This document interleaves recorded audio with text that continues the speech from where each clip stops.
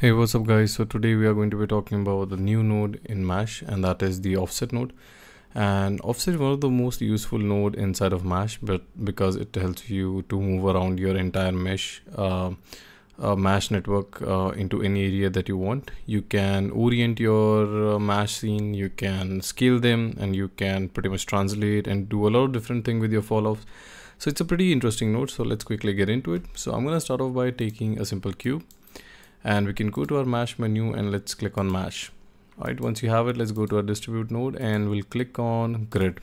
To start off with, we'll have a nice grid going on.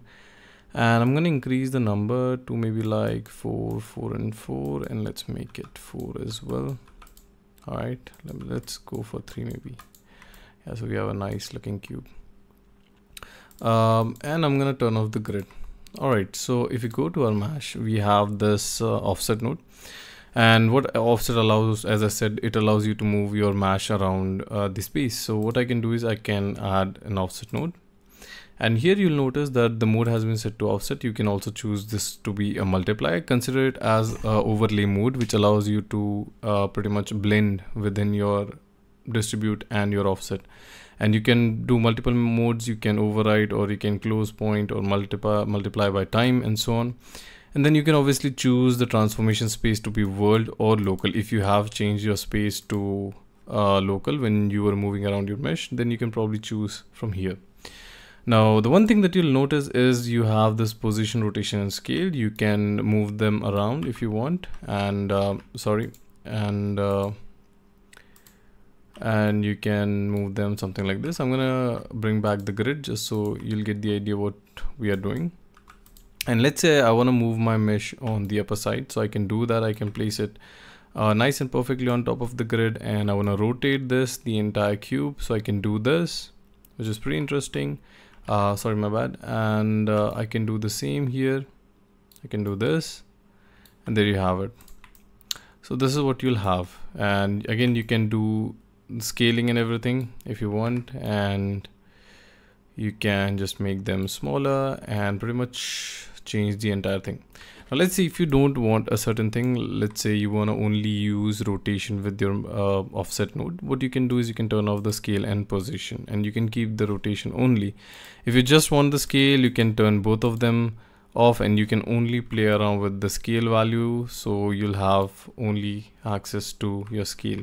You can also choose the id if you want but uh, make sure you have the id node uh, turned on and also you have to have multiple objects uh, more than one primitive to have the access to the ID uh, which we have already discussed in the ID node video and uh, again same goes for all of them. If you want to choose only one thing you can turn it on and off. All right so there are a lot of different ways that you can also manipulate how these cubes work. So what i'm going to do is i'm going to create a uniform value for all of them. I'm going to reduce the scale by 0.5 let's maybe make it 0.5 0.5 and 0.5 so we have a very small looking cube. And i'm just going to change the rotation to maybe something like 15 or uh, 45 something like this. So we have something that looks like this or maybe let's go for 90 all right there we go. So we have something that looks like this. So if i turn off the rotation you'll notice that we get something like this. So if I go to my clamp, uh, you'll notice that we have the option to low and high clamp as well, where we can pretty much uh, interchange how this cube will behave. And so on. You can also animate this pretty nicely. And it's pretty interesting. Uh, then again, you can multiply this by time, but if you want to use this, you have to change the mode to multiply.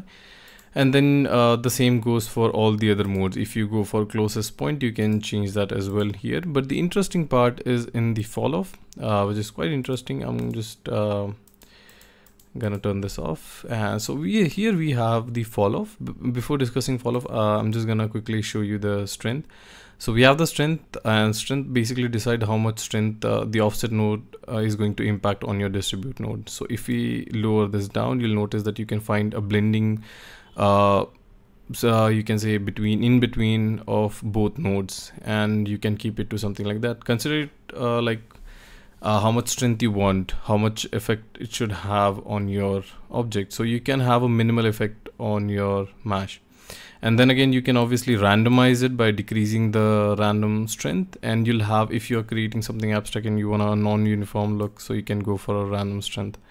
So this looks quite good. And again you have the step value to creating a step action. And there you go. Um, so I'm just gonna quickly go to the fall off. So here we have a fall off. And what fall off is basically it's a hollow area which uh, decides how much uh, impact of this offset node is going to be affected. So everything inside those area inside the fall off area will be affected by the offset node. Everything that's outside will not be affected at all. So um, what i'm going to do is right click here and i'm going to create a fall off. So you'll notice that we get this invisible looking sphere uh, just some grid. So i'm going to select my fall off and i'm going to click r and i'm just going to scale this down a bit to something like this all right so you'll notice that we get uh, two fall-offs. Uh, technically it's one, but we get two circles here, two spheres. And the first one is the inner zone and the second one is the outer zone. You can obviously go back and change the inner and outer zone, which basically is the more the more object that is inside of your inner zone will be affected the most uh, the farther it goes to the outer zone the least effect it's going to have on it, on them so consider it like a fall off that you have a gradual way of uh, creating this impact which is like here and then you have a point and it slowly fades away as it goes farther to farther. Now let's say if you're not uh, if you don't want to like have this effect or you just want a linear field on this what you can also do is uh, select your fall off and you can just simply turn it off by increasing the number to the actual fall off size. I like to keep some fall off in the scene so I'm gonna keep it a value of 0.8 uh, now, right now, if I select my fall off and hit W, and if I move them around, you'll notice that follow fall off uh, is kind of animating or you can say affecting our uh, scene, which is quite interesting. Now, if you want the inverted effect, what you want is uh, the cube should be active when it's outside of those uh, spheres. What you can do is you can simply invert the fall off and now you have this kind of effect. So you can do the invert animation with this. Uh, again, you can change a lot of different shapes of this. You can set it to cubes. You can set it to NURB curve if you have, if you are using in particles or something like that, you can keep it. Or if you want to use a simple mesh, you can use that as well. So I'm going to keep it to sphere. Now remember the fall off is completely linear here as you can see, but you can change how this uh, entire graph behave by changing the interpolations and so on. So we can cre create this weird looking uh, graph on our own. So I'm just gonna transform something. All right so we have something like this. So whenever I move my uh, cube you'll notice since we have a very steep height and then decrease and then again some height the cubes are behaving according to that. So you can create this uh, spectrum or jagged looking animation as well if you want and if you just want a smoother animation you can just simply take this and uh, slow it down a bit. So you'll have this. All right and I'm just gonna get rid of this one and this one. So we have something like this. All right uh, anyways so again you can change the interpolation how it looks and so on. Then you have some additional settings and uh, some connection which we are going to be discussing in future videos. And you can change the display color if you want. You can uh, set it to green if it helps you to visualize your fall off. Now if you go to mash again you'll notice that you have this fall off here and you can obviously turn it off and uh, turn it on. And if you want to take another fall off let's see if you're only limited by this. I'm just going to quickly uh, change the ramp entirely to set it to linear again so we have this looking and i'm just gonna scale this down a really low and i'm gonna put it right over here.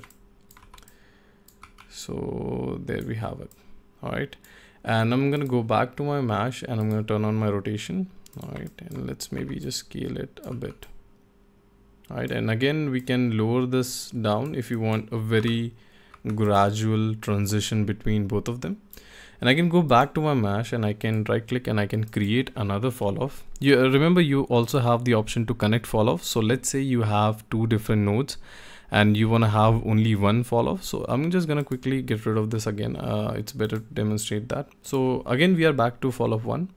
and what I'm going to do is I'm going to take another offset here and in this offset what I'm going to do is I'm going to just change the position to a bit higher to maybe like 2 all right and I'm going to create a fall off okay so we have this fall off and I'm going to select this fall off and just take it backwards to something like this. And again let's scale this way way down and I'm gonna set the color to maybe like blue. Okay and maybe something like all right 350 all right and if I move this you'll notice that the cube starts to uh, go higher. And if I go to my mesh and if I select my offset number one which we have original fall off I can bring this fall off as well I'm gonna middle mouse click and drop it here.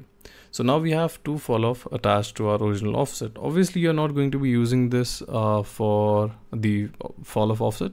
If you're using multiple nodes, let's say if you're using a color node and uh, you give something like maybe a green and you start to randomize different colors and so on whatnot and if you go to a fall off and let's see you create this fall off and uh, I'm gonna select this color one and I'm just gonna scale this to maybe like 4 4 and 4 and I can go to my offset again uh, the first offset and I can attach this color offset over here.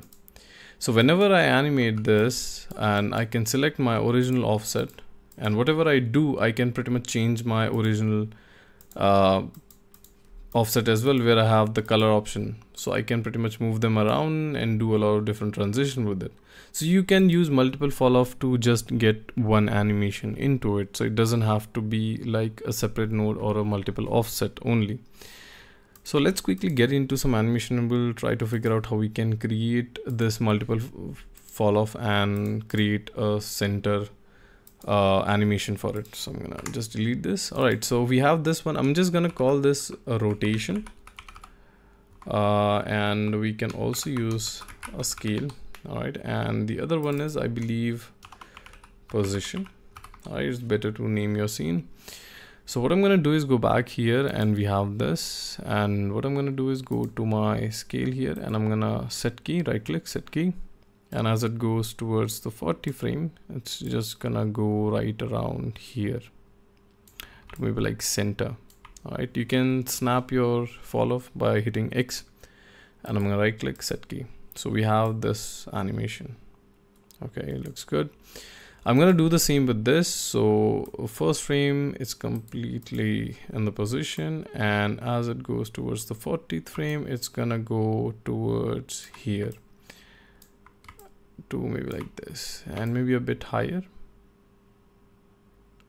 Oh let's keep it low and right click set key. All right there we go. So i'm going to go back to my first frame and let's play this. So there we have it. And what we can do is we can reverse the same thing if you want to create a looping animation. What we can do is we can just uh, the keyframe that we have here we can right click copy this and we can go to the 80th frame and what we can do is paste this. All right I'm gonna do the same with this. Select this right click copy go to 80th frame and let's paste.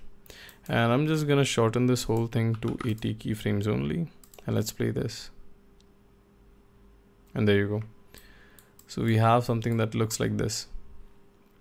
Uh, so this looks pretty good. Uh, this looks pretty neat and this is how you can use fall off to create uh, amazing looking animation and what you can also do is again since we have this scalar value on our mesh i can go back to my mesh and let's go to offset.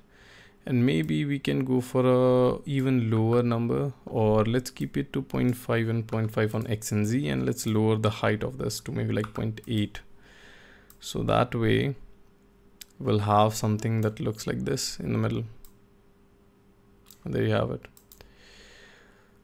uh, so yeah, it looks pretty interesting again you can always go back and let's say if you have less interaction with this you can increase the zone of it or you can select this you can pretty much scale this up and now you have a higher fall off so there you go uh, so I hope this was helpful. This is a pretty interesting node, a very helpful node. So whenever you're working with any type of mesh scene, offset is a must node that we always take to create a very interesting looking scene.